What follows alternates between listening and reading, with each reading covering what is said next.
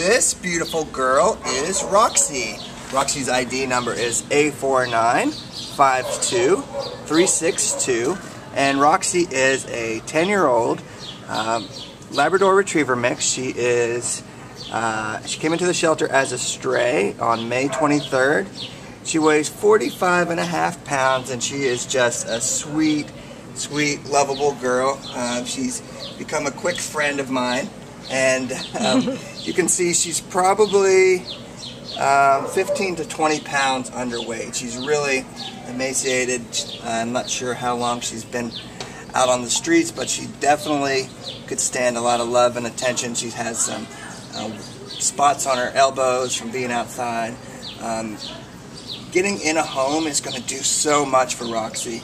Um, she's very sweet. She's been giving me kisses, but um, she has had it rough recently, you can tell.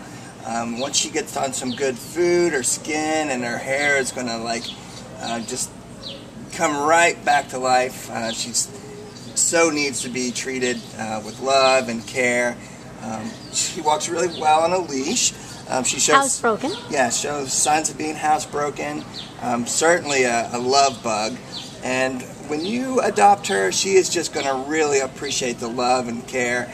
And I feel like she's going to bond really quickly. Um, I've just spent a little bit of time with her, and um, we've really seemed to get along well. And I'm sure that she would get along great with the family. Um, she came in from the Covina area. I'm not sure if I said that, but um, so that is where she originated from. But we would love to get her a home. We think that um, she'll probably take a little bit of uh, just uh, TLC she needs when she gets in. Yeah. Probably not going to want to go to a place where she's going to get overwhelmed with um, a lot of activity at first. Um, she probably would enjoy just some personal attention. Um, but ultimately, she'd be good in a home with a family, somebody who can just make the make her part of their family and just uh, show her the love that she needs. So we would love for you to come down to the Baldwin Park shelter and meet Roxy and um, fall in love with her like the, the people at uh, United Hope for Animals have as well. Right? What a sweet girl. She's so sweet. She's so sweet.